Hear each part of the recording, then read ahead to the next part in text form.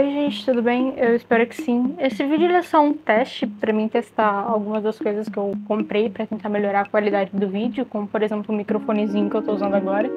Se ele tiver com barulhinho de interferência, eu tô tentando arrumar isso. É só um teste mesmo para mim ver se o áudio vai ficar bom.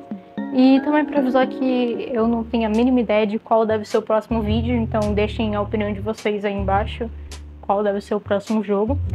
E já avisando que eu não pretendo fazer Broken Colors como próximo vídeo. Eu quero que o jogo ofereça alguma coisa mais para nós. Porque eu acho muito chato que o criador fique sustentando o fandom dele, basicamente criando vários personagens que muitas vezes não vão estar na história e falando tudo sobre eles ao invés de realmente dar pra gente alguma atualização sobre o jogo de fato. Então eu vou esperar um pouquinho, mas se acabar dando muito tempo e o criador realmente não fizer nada do jogo, a gente vai ter curiosidade sim. E do tanto de tempo que eu tô esperando, deve dar pra fazer pelo menos uns seis vídeos, porque aquele maluco posta todo dia coisa no Tumblr.